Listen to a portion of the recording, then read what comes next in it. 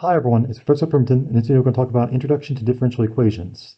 In the previous couple sections, we considered equations of the form dy dx equals 6x squared minus 4x, and we also considered equations of the form c prime of t equals negative 20 e to negative 0.5 times t. Each of these are called differential equations because they involve a derivative that's equal to a function. So you have dy dx, that's representing a derivative of a function y, and it's equal to this derivative and c prime of t is representing the derivative of some function c of t, and it's given as a formula. In general, an equation is a differential equation if it involves an unknown function and one or more of its derivatives. So other examples of differential equations include dy dx equals some constant k times y, or y double prime subtract x times y prime plus x squared equals 5, and dy dx equals 2xy. Each of these are called differential equations. This first equation is called a first order equation because it involves the first derivative. Whereas this second equation, y double prime appears, so it involves the second derivative, so it's called a second order equation. And this last one involves just the first derivative, so, it, so it's also a first order equation. So in other words, if you have a differential equation that involves the first derivative but not the second derivative, it's called a first order equation. Whereas if you have an equation that involves the second derivative but not the third derivative, then it's called a second order equation. In this video, we're going to talk about how to solve basic differential equations to find a function that satisfies the equation and also an initial condition. So let's start off with differential equations. A differential equation is basically an equation that involves a derivative of a function and it allows us to express with a simple equation the relationship between the quantity, the function, and its rate of change, its derivative. So let's look at example one, rate of change for a bank account. Suppose that a bank pays 2% interest on its certificate of deposit or CD, but it charges $20 annual fee for the account. Write an equation for the rate of change of the balance, capital B prime of t. The balance of the bank account will be called capital B of t, and it's not known. We just know that the units are in dollars.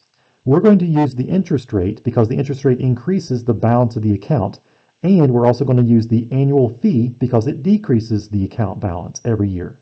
Since the interest was given as 2% on the certificate of deposit, that means that each year the account will grow 2% in terms of interest. So 2% of the balance of the account will be calculated every year. So you're actually calculating 0.02 times the balance of the account, but the balance of the account is not given in the problem. So that's the function we want to find, capital B of t. So 0.02 times capital B of t. That's the interest every year. So the fee is actually an annual amount. It's $20 every year. So we have a differential equation that we can solve to find out the balance of the account. Capital B of t, that's representing the rate of change in the balance of the account, it's given as 0.02 times the original function for the balance of the account, capital B of t, and then you subtract 20 every year. So every year, the account balance is multiplied by 0.02, and then you subtract 20.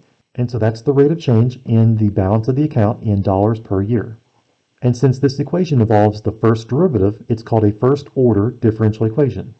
Notice in this last example that the particular equation involves both the derivative and the original function. It had b prime of t, but it also had capital B of t. However, we cannot find capital B of t using basic integration rules that we have previously discussed in the last two sections. One of the first things that we're going to talk about in this video is that there's a difference between solutions to differential equations versus solutions to algebraic equations. Algebraic equations that contain constants and variables, their solutions to the equation are real numbers. So if you have x equals 3 and x equals negative 2, their solutions to the algebraic equation x squared equals x plus 6, because if you plug in x equals 3 or if you plug in x equals negative 2 into this equation, you get a true statement. On the other hand, differential equations will contain derivatives or differentials of functions. Solutions of differential equations are actually functions. So the differential equation y prime equals 3x squared, we know that if we want to find out the function y, what is the function y so that its derivative is 3x squared, there are infinitely many solutions because you can have any function plus a constant. So two of the solutions could be these functions, y equals x cubed plus 2 because the derivative is 3x squared plus 0, and you can also have the solution be y equals x cubed subtract 4 because the derivative is also 3x squared plus 0 because we can tack on any constant and the derivative will just be 0. So since y prime is equal to 3x squared, there will be an infinite number of solutions, an infinite number of functions that satisfy this differential equation. What's important, though, is whether you're solving a differential equation, whether it's easy or difficult to solve, we need to check that the possible solution really satisfies the differential equation. A solution of a differential equation can be checked by substituting the function into the differential equation by taking the appropriate derivatives, and to show whether the equation is actually a true statement. So for example, y equals x squared is a solution to the differential equation x times y prime equals 2 times y, since y prime, the derivative of this function y equals x squared, the derivative is 2x. So if you plug 2x into this differential equation for the y prime, then you have the variable x times y prime, that's the function 2x, so x times 2x on the left-hand side of the equation, you get 2x squared. And on the right-hand side of the equation, you have 2 times the function y, so 2 times x squared, and so you get 2x squared on the left side of the equation and the right side of the equation, and so it's a true statement. So when you're checking your solution to differential equations, you're not plugging in real numbers. You're plugging in functions and seeing if the function on the left-hand side and the right-hand side of the differential equation gives you a true statement. So let's look at example 2. Solution to a differential equation. Check that the following function is a solution to the given differential equation. Number 1. The function is y equals x squared plus 5, so that's the solution of the differential equation that we want to check. Is it the solution to this differential equation? y double prime plus y equals x squared plus 7. So we have a couple derivatives defined because we want to plug in for the second derivative. So if y is equal to x squared plus 5, then the derivative y prime would be the derivative of x squared plus 5, or the derivative of x squared is 2x, the derivative of 5 is 0, and so y prime is 2x. But we, notice we don't have y prime to plug in. We want to plug in for y double prime. So we need to find one more derivative. So y double prime would be the derivative of the first derivative. It would be the derivative of 2x, or just 2. So now we have all the functions that we need to plug in to check to see whether this y equals x squared plus 5 is actually a solution to the differential equation. So the differential equation, y double prime plus y equals x squared plus 7, we know that y double prime is 2, so plug in 2 for y double prime, plus the function y that we need to plug in is x squared plus 5, that was given. Is it equal to x squared plus 7? That's what we need to check. So on the left-hand side, you have x squared plus 5 plus 2, that's really x squared plus 7, and so the left-hand side and the right-hand side are, of the equation are equal to each other, and so y equals x squared plus 5 is a solution to this differential equation.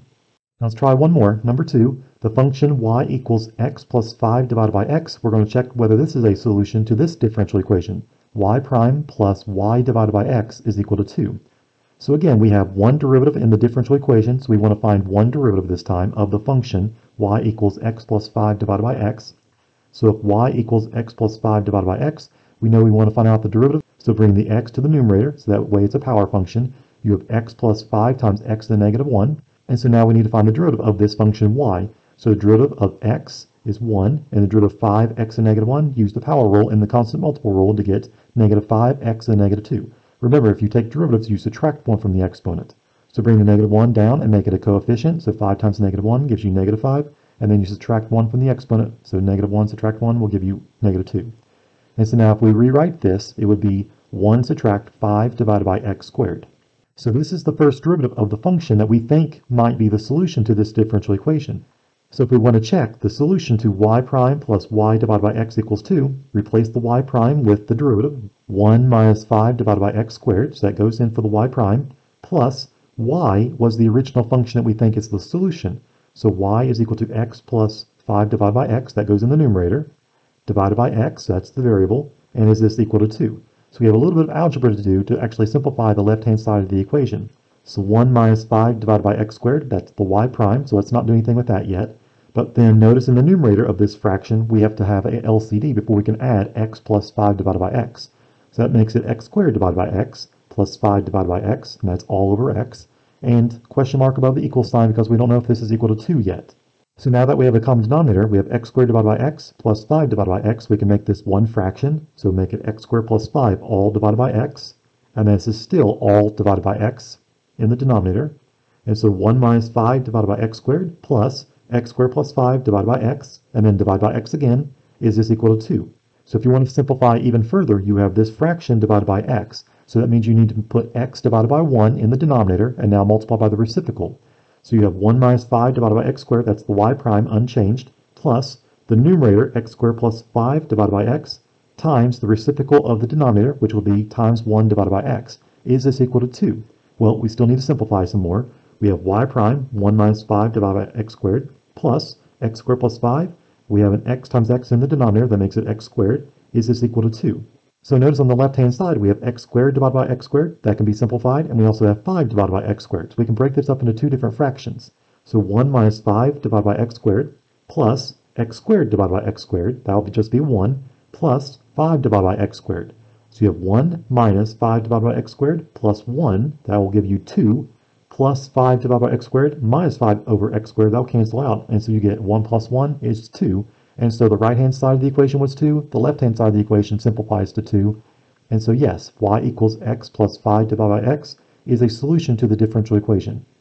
So now that we know that differential equations, the solutions could be possibly functions that satisfy the differential equation, now let's talk about how to actually solve differential equations. So the first type of differential equation that we're going to talk about is called separable differential equation. A differential equation is called separable if the variables can be separated algebraically, so that means you can add or subtract, multiply or divide, so that the expressions containing the variable x and the differential dx are on one side of the equation, and the expressions containing the variable y and the differential dy are on the other side of the differential equation. In other words, you can have your differential equation be of this form. You have some function of x and only x times dx on the left-hand side of the equation, and you have another function that is only in terms of y times dy on the other side of the equation. Once the differential equation is separated, then the equation can be solved by integrating both sides of the equation. So you can take the indefinite integral on the left-hand side of the equation and the indefinite integral on the right side of the equation. So example 3, we're going to solve separable differential equations. So find the general solution of the following separable differential equations. So general solution to a differential equation just means that we're going to have a constant of integration capital C involved in the solution. So number 1, y prime equals 2 times x times y. What is the function y that will satisfy this differential equation so that its derivative is 2 times x times the function itself. So after rewriting the y prime using the differentials dy and dx, then the equation becomes dy dx is equal to 2xy on the right-hand side of the equation. So notice you can treat the differential dx like it's a variable. So multiply both sides of the differential equation by dx. So you have dy on the left-hand side after dx divided by dx will just cancel out. And on the right-hand side, you have 2xy times dx. So on the left-hand side, we want the differential dy, but we also want a function of y on the left-hand side, and we want the differential dx on the right-hand side, but also a function of x on the right-hand side. So notice that we need to divide both sides of this equation by y so that the y is on the left-hand side of the equation, and the x's will be on the right-hand side of the equation. So dy divided by y, after you divide both sides of the equation by y, is equal to 2x times dx on the right-hand side of the equation. So notice in this equation that everything in terms of y is on one side of the equation and everything in terms of x is on the other side of the equation, including the differentials dy and dx. And so now integrate both sides of the equation. So take the indefinite integral on the left-hand side of the equation, so integral dy divided by y is equal to the integral on the right side of the equation, 2x dx. So we have a couple integrals that we need to find. Let's find the family of integratives for this function, 1 divided by y dy, and we also need to find the family of antiderivatives for the function 2x. So we know the antiderivative of 1 divided by y would be the natural log of the absolute value of y because we don't know if y is either positive or negative, so it needs absolute value around the y. And on the right-hand side of the equation, you have 2 as a coefficient, so it stays, but then x is a power function, so add 1 to the exponent and also divide by the new exponent, and so you get x squared divided by 2. Now don't forget about the constant of integration. You want to find the family of antiderivatives that would satisfy this differential equation, so you need to add in plus c. So now notice you can simplify the right-hand side of the equation. The 2's will cancel out, and so you have natural log absolute value of y is equal to x squared plus the constant of integration, capital C. We want to find out what is the function y that satisfies this differential equation. So we need to get y by itself now. We need to treat this like it's an equation where we need to solve for the function y. So how do you get y by itself? Well, it's inside the natural logarithm. So you need to take e and raise it to the power, natural log absolute value of y on the left-hand side, and do the same thing on the right-hand side. Do e raised to the right-hand side of the equation. So e to the natural log absolute value of y on the left-hand side of the equation is equal to e to the x squared plus c in the exponent on the right-hand side of the equation. So e and natural log are inverses of one another, so you'll just be left with absolute value of y on the left-hand side of the equation. On the right-hand side of the equation, you have e to the x squared plus c in the exponent. And so now you have absolute value of y is equal to the right-hand side of the equation. Whenever you're adding exponents, you're really multiplying. So you have e to the x squared times e to the c. And then notice, if you have e to a constant, that's just another constant. You have a number that's being raised to another number. That's just a number. That's a real number. So let's just replace this e to the c power as just another constant of integration. So you have absolute value of y on the left-hand side of the equation, is equal to e to the x squared times some constant of integration. This is what's called a general solution. We don't know what the particular value of c is, but any function of this form will solve this differential equation, y prime equals 2 times x times y. So let's try something similar. Number 2, y prime is equal to 6x plus 1 in the numerator divided by 2y in the denominator. So again, this is called a separable differential equation because we can try to get the y's all on one side of the equation and all the x's on the other side of the equation. So after rewriting y prime using the Leibniz notation again, you have dy dx on the left-hand side of the equation is equal to 6x plus 1 divided by 2y. So notice that if you treat these like they're two different fractions, then you can cross multiply to get an equation that has x's on one side, including dx, and you also have the y's on the other side of the equation, including dy. So dy times 2y, that's the left-hand side of the equation, equals this differential times 6x plus 1 on the other side of the equation. So 6x plus 1 in parentheses times dx. So now we have all the y's on one side of the equation along with dy, and we have all the x's on the other side of the equation involving dx. So now we can integrate both sides of the equation. So take the integral of the left-hand side of the equation, so integral 2y dy is equal to, take the integral on the right side of the equation, so integral 6x plus 1 dx. So just like the last problem, we have a family of antiderivatives defined on either side of the equation. We want to find what is the family of antiderivatives for 2y, and what is the family of antiderivatives for 6x plus 1. So on the left-hand side, the y is the variable of integration, so y is a power function, it's y to the first power, so if you want to find the antiderivative, you keep 2 as a coefficient, you add 1 to the exponent, and you divide by the same exponent. So 2 times y squared divided by 2 is equal to, on the other side of the equation, you have two different terms, so you can find the antiderivative of each term separately. You have 6 as a coefficient, so you keep it. x is the variable of integration, so x is the power function, is x to the first power. So find antiderivative, add 1 to the exponent, and divide by the same exponent. So you have 6 times x squared divided by 2, and the antiderivative of 1 is just x. And don't forget about the constant of integration, you have plus c that you need to add to the end of the antiderivative. So now let's simplify. We have 2 divided by 2, that'll cancel out, and you have 6 divided by 2, that'll just be 3. So you have y squared is equal to 3x squared plus x plus c, and that's the general solution to this differential equation. Since we don't know what the value of c is from the problem, this is called a general solution. Any function of this form would satisfy this differential equation, y prime is equal to 6x plus 1 in the numerator divided by 2y. Before we talk about the next example, an initial value problem is a differential equation that provides additional information about an initial or starting value of the function. So if we know what the initial value of the function is, so if we plug in 0 for the x values and we find out what the y value is, then we can find out what is this constant of integration, and so we will have a single solution. And that's what's called a particular solution rather than a general solution. Example 4, initial value problem. The rate of growth of a population, capital P of T, which starts with 3,000 people and increases by 4% per year is this differential equation. Capital P prime of T is equal to 0.0392 times capital P of T. Solve the differential equation and use the solution to estimate the population in 20 years. So in the differential equation, capital P of T equals 0.0392 times capital P of T can be rewritten in terms of the variables x and y. So p prime of t will be replaced with y prime, and 0.0392 times p of t will become 0.0392 times y. So we're replacing p prime of t with y prime, and we're replacing capital P of t with y. This will help us separate the equation so that the function x is on one side with dx, and the function in terms of y times dy will be on the other side of the equation. So it becomes a separable differential equation. So y prime will be replaced with dy dt, using Leibniz notation because everything was in terms of t, not x, is equal to 0.0392y. And now notice, if you multiply both sides of the equation by dt, you can get dt on the other side of the equation away from the dy. So dy is equal to 0.0392y times dt. And so now if you want to get the y's on one side of the equation, do what we did earlier in another example, divide both sides of the equation by y. So dy divided by y on the left-hand side is equal to 0.0392 times dt.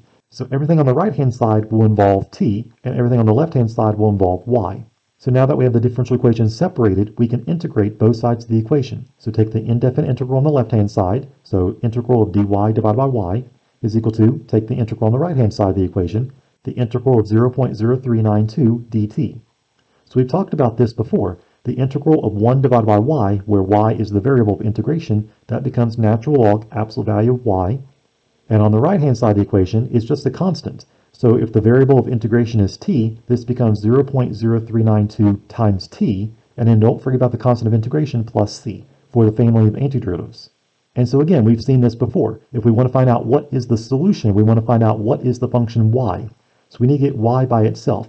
So take e to the left-hand side of the equation is equal to e to the right-hand side of the equation. So e to the left-hand side of the equation, so you get e to the natural log of absolute value of y in the exponent, is equal to e to the right-hand side of the equation as an exponent. You get e to the 0.0392 t plus c. And so this is equal to, after e and natural log are inverses of one another, they cancel out. On the right-hand side of the equation, you have a sum in the exponent, and so that means you can rewrite this as a product of two different exponential expressions. You have e to the 0.0392t times e to the c. And so we've seen that e to the c is just a constant, so it becomes capital C times e to the 0.0392 times t on the right-hand side of the equation, and on the left-hand side of the equation we have absolute value of y. This is a general solution because we don't know what the value of c is. However, notice in the problem that they tell us the population starts at 3,000 people. So we can use this information to find out what is the particular value of capital C for the constant of integration that will solve the differential equation. So since the population is represented as the variable y, we know that the population can never be a negative number. So we can drop the absolute value around the y and treat y as a positive number only. So instead of absolute value of y equals capital C times e to the 0.0392 times t, we can treat this as y equals capital C e to the 0.0392 times t.